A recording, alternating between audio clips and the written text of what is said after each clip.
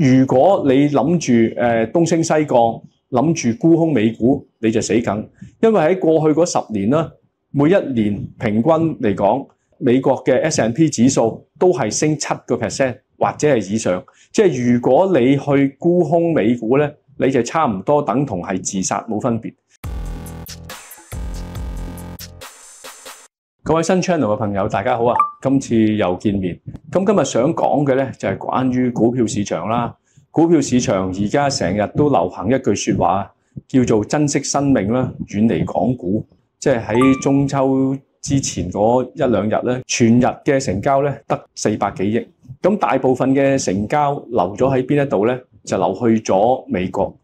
咁啊，美國之前成日都流行過一句說話啊，就叫做東升西降。咁東升西降，我同唔同意咧？我絕對同意。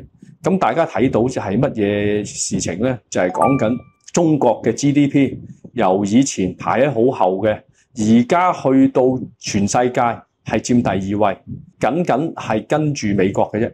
咁呢個東升西降咧係行先，但係又好不幸地，你會睇到誒、呃，無論中國嘅股票市場啦，誒、呃、或者係香港嘅股票市場咧，都係喺一個低位嘅。即係同大家嗰個想法，大家睇嗰個 GDP 嘅增長咧就唔同。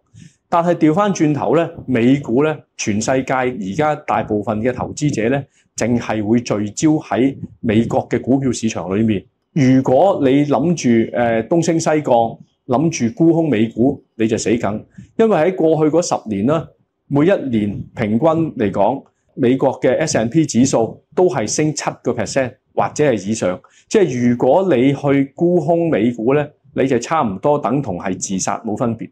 成個世界啦，只有七隻股票咧係超越一萬億美金嘅市值。咁我哋所講嘅咧就叫做納指七雄，包括邊七間咧？就包括有蘋果啦、微軟啦、Alphabet 啦，跟住仲有 Meta 啦，即係 Facebook 啦。誒 Tesla 啦、Amazon 啦，同埋係 Nvidia。咁啊，蘋果、微軟啦，同埋 Tesla 咧，佢嗰個市值咧，直情係超越咧三萬億美金嘅市值。你會睇到啊，誒呢七隻公司大部分咧都係科技嘅公司、互聯網嘅公司。咁點解咧？咁我就嘗試喺一個企業嘅角度去分析，話俾大家聽有乜嘢分別。咁其實如果係講企業咧，我哋係可以分組四等啦。咁最低等嘅，我哋就係講緊鬥價錢，你十蚊，我八蚊，你八蚊，我就六蚊。全部咧就唔係鬥品質，全部係鬥平。鬥平係冇意思嘅，即係嗰個 profit margin 會越嚟越低咧。最嬲尾咧，你會係支撐唔到。咁比鬥平好一級嘅企業係咩？就係鬥性價比啦，即係話你嗰件貨品啦，或者係個服務啦，會唔會比其他人好？人就好得意嘅，中意揾笨，唔中意揾正。即係話我係顧客，如果我知道你嘅服務或者係你嘅產品俾到我嘅嘢係超出過我俾嘅錢嘅你嘅時候，就嗰個消費者咧就會覺得我揾咗你笨。咁即係話。我哋要去鬥嘅就係鬥一啲叫性價比高嘅服務啦。咁香港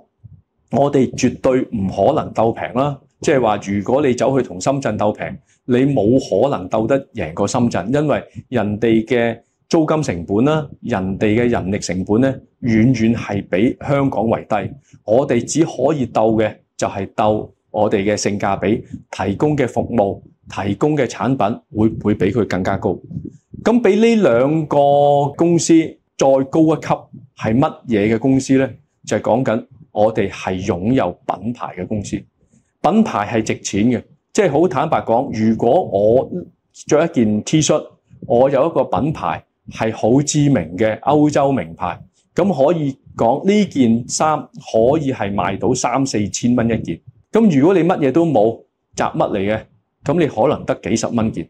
呢個咧就係講緊品牌嘅效應，同樣道理人都係嘅，即係譬如嗰啲睇相學嘅大師，佢係可以收取咁高嘅睇相嘅費用咧，因為佢出名咯，出名嘅時候咪幾萬蚊睇個相咯。如果乜都冇嘅，你咪喺廟街街邊，咁可能係幾百蚊睇一個相，咁相差咧就成一百倍嘅分別。呢、個就係講緊有品牌啦，同埋冇品牌嘅分別。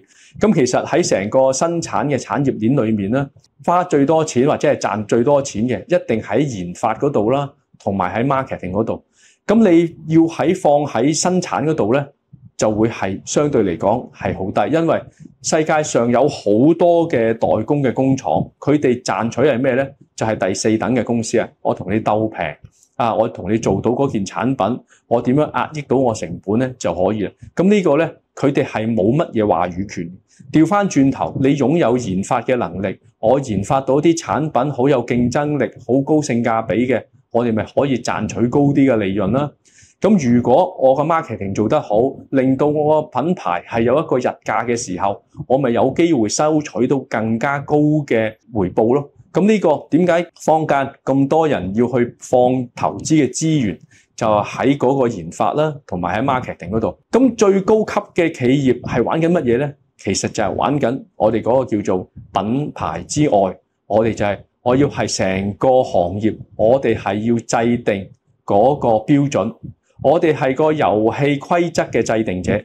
頭先講嗰間七間公司咧，全部都係行業嘅規則嘅制定者嚟嘅。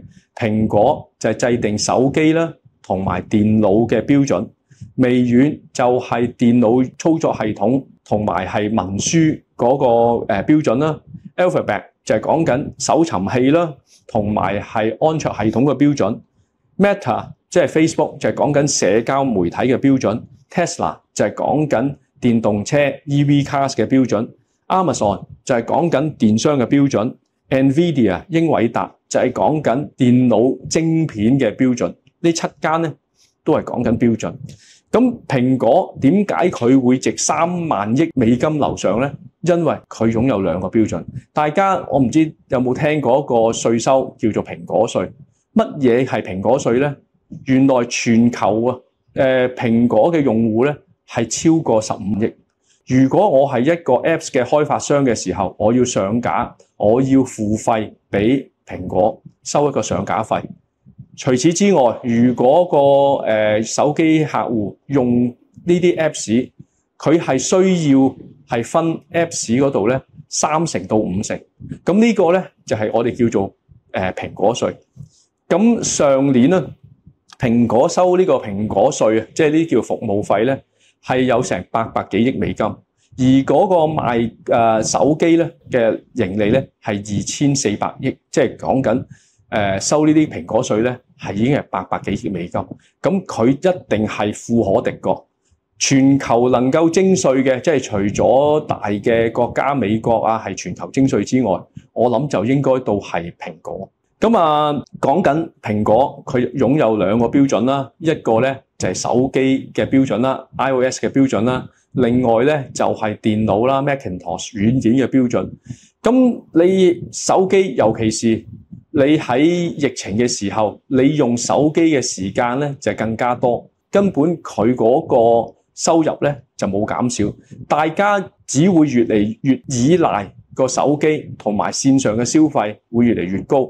咁所以預計 Apple 啦，未來咧嗰個收入咧要去下跌咧就好難，同埋佢係有足夠嘅金錢咧，係會再去做一啲研發啦。譬如而家新嘅手機又要擺埋 AI 嘅功能，咁呢個就係講緊玩定標準咯。